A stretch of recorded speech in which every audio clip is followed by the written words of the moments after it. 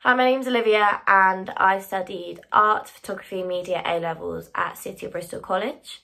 I was lucky enough to have the same teacher for both art and photography.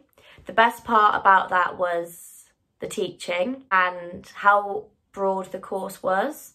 So I went down more of a textiles route by the end of it, which has led me to go on to study something fashion based. I definitely wouldn't have found out I wanted to do that unless I had studied the subjects at City of Bristol College if I had stayed where I was studying my A-levels beforehand. So best decision I've ever made.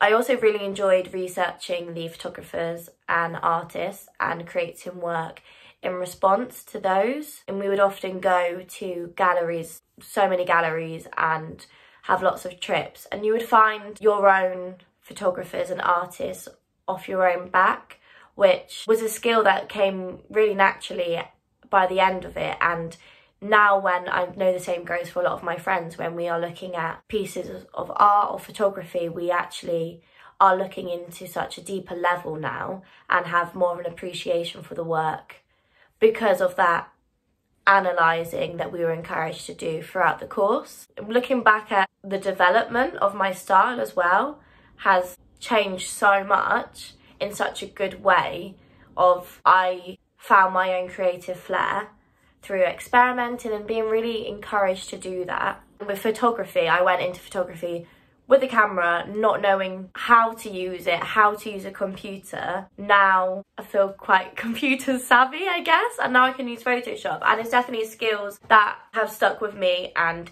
they were broken down very well for for all different levels because some people went into the course studying that at GCSE and some people it was really new to them. And now I have those skills in the job I have now, I've been using it and I have been asked to take press shots. So it's definitely the best decision I ever made because I've learned so much and I had such a fun time.